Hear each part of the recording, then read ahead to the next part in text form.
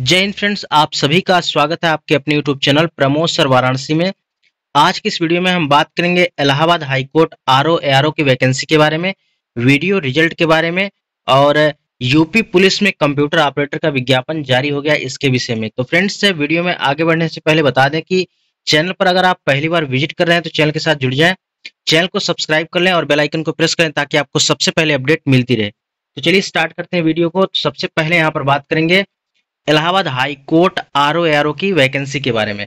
आप सभी को पता है कि यहाँ पर जैसे आपका यूपी पीएससी आर ओ की वैकेंसी जो है निकाली गई है और इसका एग्ज़ाम 11 फरवरी को है, इसी प्रकार इलाहाबाद हाई कोर्ट में भी आर ओ यानी समीक्षा अधिकारी की वैकेंसी होती है।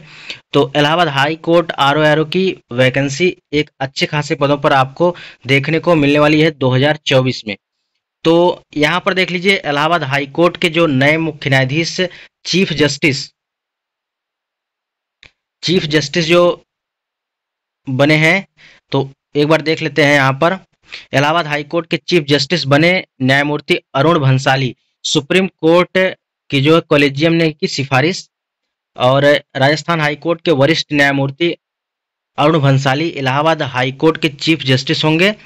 ठीक है? देश के प्रधान न्यायाधीश डी वाई चंद्रचूड़ की अध्यक्षता वाले सुप्रीम कोर्ट वाले कोलेजियम ने केंद्र सरकार से उनके नाम की सिफारिश कर दी है। इलाहाबाद हाई कोर्ट के मुख्य न्यायमूर्ति प्रीति प्रीतिंकर दिवाकर के सेवानिवृत्ति होने के बाद से वरिष्ठ न्यायमूर्ति मनोज कुमार गुप्ता कार्यवाहक मुख्य न्यायाधीश के तौर पर कार्यरत हैं। न्यायमूर्ति भंसाली की नियुक्ति के बाद इलाहाबाद हाईकोर्ट को मुख्य न्यायाधीश मिल सकेगा। तो इलाहाबाद हाई कोर्ट के जो मुख्य न्यायाधीश नियुक्त होने वाले हैं, वो हैं न्यायमूर्ति भंसाली। तो इनकी नियुक्ति के बाद आपको Allahabad high court R O O की वैकेंसी अच्छे खासे पदों पर आपको देखने को मिलने जा रही है। और यह वैकेंसी आपको जो है जो है 2024 में देखने को मिलेगी और 2024 में आपको जनवरी के लास्ट और फरवरी तक आपको देखने के चांसेस हैं। यह वैकेंसी आपको फरवरी तक उम्मीद है आपको Allahabad high court R O की वैकेंसी देखने को मिल जाए। ठीक है? आगे कोई इसके बारे में अपडेट मिलेगा तो आपके साथ ज़रूर शेयर करेंगे। नेक्स्ट बात करते हैं वीडियो रिज़ल्ट के बारे में। तो कल इसके विषय में जो है कहा गया था कि उनतीस तारीख को एक बड़ा धरना होने जा रहा है तो सभी लोग वहाँ पर पहुँचे, लेकिन वहाँ पर इतना ज़्यादा अभ्यर्थी नहीं पहुँच पाए। इतना अभ्यर्थी क्या? पूरी तरह से धरना यह एकदम निष्फल रहा। ठीक है?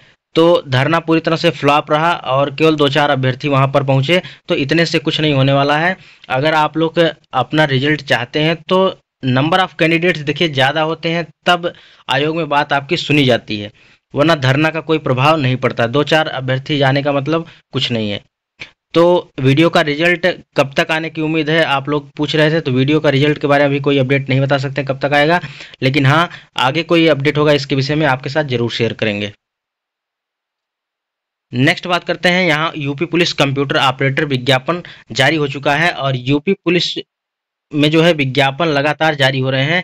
देखिए, यहाँ पर कल के डेट में आपका कंप्यूटर ऑपरेटर का विज्ञापन जारी हो गया है तो आप इसको भी देख सकते हैं। देखिए, यहाँ पर इसका विज्ञापन जारी हो गया है। तो यहाँ पर अनारक्षित के लिए सीटों की संख्या है, आपका तीन सौ इक्यासी ईडब्ल्यू के लिए इक्यानवे है, अन्य पिछड़ा वर्ग के लिए दो सौ उनचास है अनुसूचित जाति के लिए एक सौ तिरानवे है और अनुसूचित जनजाति के लिए 16 है। और टोटल मिलाकर 930 पदों पर विज्ञापन जारी हुआ है। यहाँ पर कंप्यूटर ऑपरेटर ग्रेड ए के पद पर भर्ती हेतु तो पुरुष एवं महिला अभ्यर्थियों के लिए यह विज्ञापन जारी हुआ है। और देखिए यहाँ पर आवेदन कब से प्रारंभ होंगे? आवेदन 7 जनवरी 2024 से आवेदन प्रारंभ होंगे। और आवेदन शुल्क जमा करने की अंतिम तिथि 28 जनवरी है। और इसमें संशोधन करने की अंतिम तिथि 30 जनवरी 2024 है।